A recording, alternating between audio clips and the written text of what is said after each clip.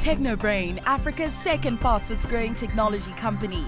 Africa came first, we came in second.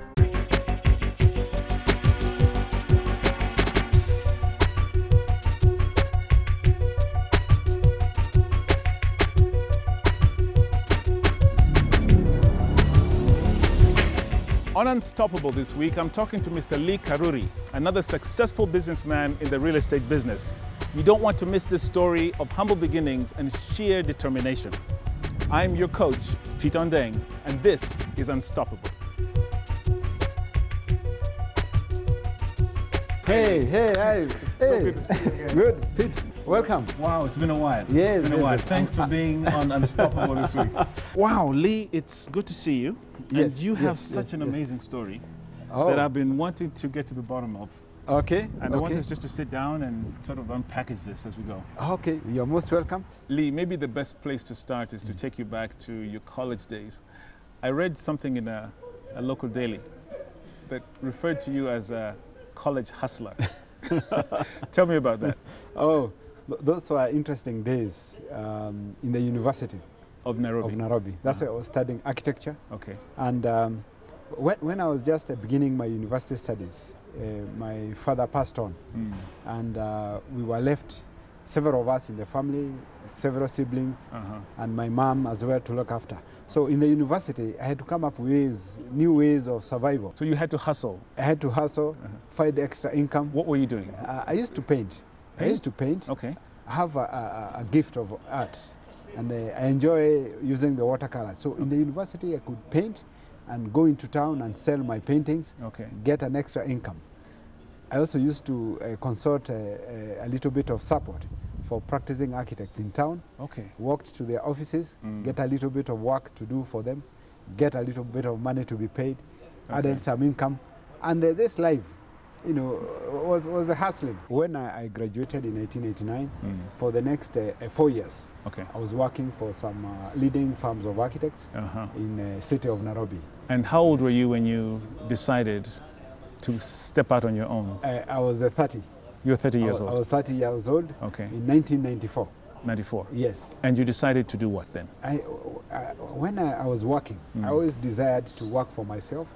And uh, we set up with a partner who is, uh, used to be my classmate Okay. in, the university, in uh-huh. college. Okay. We were in the same year, uh, uh, called Chema, Katua. Okay. And uh, we agreed that uh, we would uh, set up an office Uh-huh. and uh, we created a, a, a company uh, called Dimensions Dimensions. Architects. Architects. Okay. And we, we, we got out into the market. uh-huh. Uh, uh, Well, tell me, tell me about that. You say we got out into the market. I mean, it sounds easy. no, no, it, it was a hard decision. Uh-huh. You know, to resign right. from an employed job Right. always is not an easy decision. Okay. And in those days in Kenya, Mm. the uh, economy was not good. The start was very tough. Mm. It was very tough. In the initial years, uh, we did not have uh, much money, Mm. and uh, looking for work was hard. We were not well known, Mhm. and uh, we were getting ourselves in the market where established companies were. Okay. We were three of us Mm. my partner, I, and one employee. That's how we started. Okay. And even to pay uh, ourselves was difficult. Ali goes uh, for what he believes in. When he believes in something, he goes ahead, irrespective of the challenges. He's very aware of what challenges are ahead of him in everything he has undertaken, but he goes ahead and just moves day by day. He's not easily discouraged. And um, along life's way, whether from uh, family or business, there have been many, many points of challenges and uh, points of discouragement. But uh, he's able to just keep very clear about his goal and keep moving. Surmount one challenge after the other and just keep going. We started reaching out to Uh-huh. some of the uh, uh, clients Mhm. where we worked. We also Okay. talked to some of our friends Uh-huh. to give us networks and contacts. And we went into uh, a fairly aggressive campaign mm -hmm. to set up our company. But and, it was and it very grew, hard. and it grew and grew. It- it- I understand you yes. went regional at one point. Uh, Yes, yes. At what stage was that? when things couldn't work Mm. in Kenya and we had to get out into Uganda, Mm. we were in the hands of an architect who became our friend. Uh, a local Ugandan a local architect. Ugandan architect. Okay. He was very hospitable, Uh-huh. and we agreed to work with him for six months Mm. on a project, Okay. on a joint venture basis. Mm. And we did most of the work. Mhm. After six months, we knew that our breakthrough had come Mhm. when we got our first payment. Mhm. Because we were not registered in Uganda, the funds came through his account, Oh no. through his office. I know where this is going. When he was paid, he disowned us. So he kept the money. He kept the money, Oh my God. released no penny. And we felt that we had reached the end of the road. The Uganda experience was a challenge, no doubt about it, especially very, very at the very, very early stage. So the amount of loss, first of all, was very big, very, very big. The amount of energy and hope that was invested in that uh, enterprise was really big. And uh, for us, it was really to say, yes, we are in this situation. This is the reality. And to just be practical about it and say, what can we do? What is the good that can come out of here? And one, it is the lesson that not everybody can be trusted. So when you get into business, and especially when you get into partnership, how do you then make sure that you get your deal, you give your deal, and you get your deal? We left Uganda for You- a while, I don't blame came back to Kenya, there was no more work. Okay. And um, at that point, we were faced with the closure Mm. of our dreams. Mm. And we said, we gathered courage with my partner and said, no, if we don't proceed and we close down our company now, to start again Okay. in the future Mm. will be so hard. So you decided to keep going. We decided, let's start again, let us keep going. I'm so anxious to hear where where your next big step was. and, and, and what we eventually did is that uh, we went back to Uganda Mm. and we got some new networks on our own and got some good work. You got some work. Yes, and Okay. then we were able to rebuild ourselves Okay. and we started getting some good income. Uh-huh. Through leads in Uganda, we were able to network ourselves to Rwanda. So you went to Rwanda We went to Rwanda and set up there. and we set up there. Okay. The Ugandan business grew well Mhm. over the years. In fact, now Dimensions Architects Mm. is one of the leading firms of architects in Uganda. Okay. Yeah, today. I didn't Having done several buildings, Mm. despite that very difficult start those days. Yes. Now, Lee, this is all about your architectural practice. Yes. Uh, today, you are known in Kenya as a leading property developer, Yes. uh, multi companies, multi projects going on. Yes. Can you talk to us about the transition to property development? 10 years ago, in, uh, at the beginning of the year 2005, Mhm. after th- really talking and thinking through uh, two years, Mhm. I always wanted to transition to be a real estate developer. Okay. And in the year 2005, uh, the time came. Ah. I approached one of my clients Okay. who had a piece of land but did not have any money. Mm. And I requested them that, can we work together? I look for the resources, you bring the land, we start small, and we put in a project. So that was the beginning. That was the beginning. Fast forward. Yes. Then what? Then years later, Yeah. Uh, that property we were able to develop Okay. and uh, we were able to move into the market, Yeah. establish ourselves. Right. And as the years uh, went, went on, Uh-huh. we established several uh, uh, uh, companies Mm. with different investors Mhm. uh, where I've been chair. Mm. And uh, we started going into big time real estate. In transitioning into this new area, Yes. which is very competitive, Yeah. very difficult, Yeah. um, tell us about some of the really challenging moments that you've experienced. Yes. Yeah. Now, so, some of our, our, our challenging moments Mm. is uh, borrowing from banks Borrowing. It's a story and that. unable to pay back, Mm. unable to pay back on time Mm. uh, because developments require a lot of money. Yeah.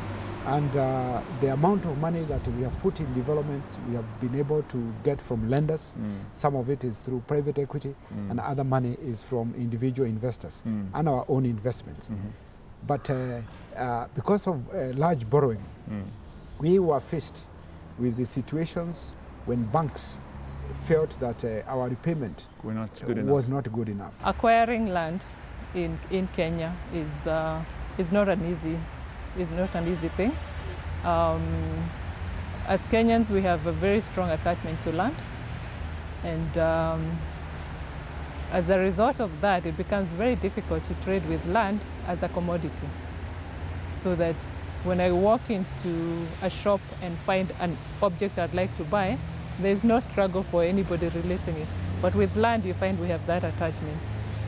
It gets more complicated because the documentation can also become tricky. The competition has increased over time. Mhm. There are several developers that Coming are up every putting- I yeah, guess, that yeah. are putting up a lot of properties. Right. So we have had to uh, uh, up our game Mm. uh, to be able to provide good services Mm. and our uh, clients to be happy Right. and to be able to edge Mm. uh, our competition. Getting the infrastructure in place is another challenge. Not every part of this country has power, has water, has decent roads, and that becomes a cost for a developer. And just getting that in place can be quite expensive.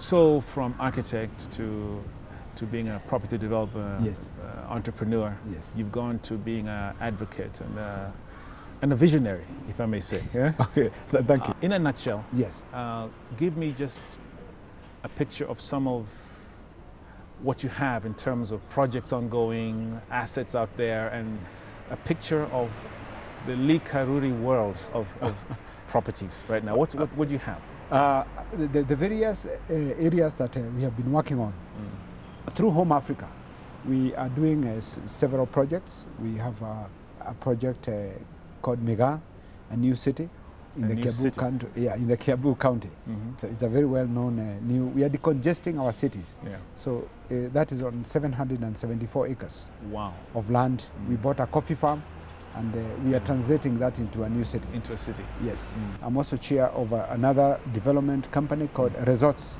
Okay. and Cities. That is That's building- another company. Yes, another company.